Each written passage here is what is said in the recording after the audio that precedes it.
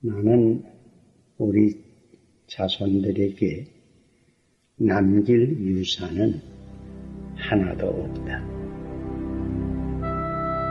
문자 그대로 나는 내게 속하는 집 한 간, 땅 한 평도 없는 사람이다.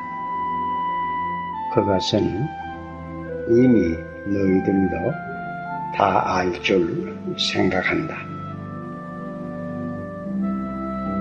무슨 재산을 소유한다고 하는 것은 어딘가 모르게 부끄럽게 생각이 된 까닭이다.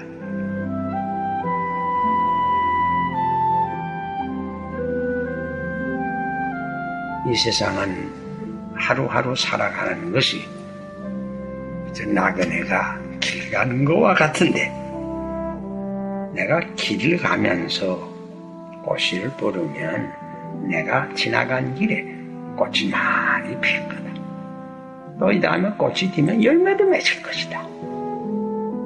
그러나 내가 지나가는 길에 꼭 좋지 못한 씨를 뿌리면 잡초가 날 것뿐이야.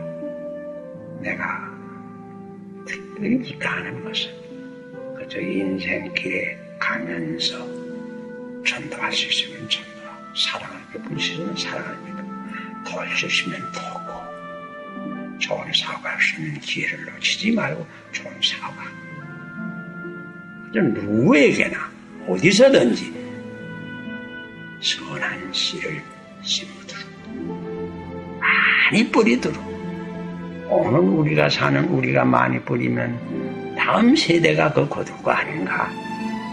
뭐 한 세기 후에 또 거둘 거 아닌가? 그뿐인가? 하늘나라에서도 거두고.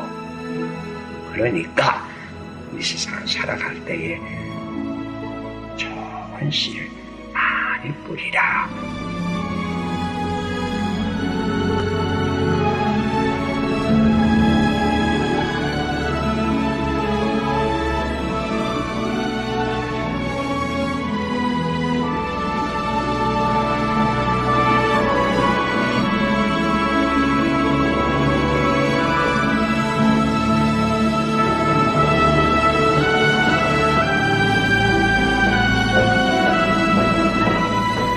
저는 기적을 믿습니다.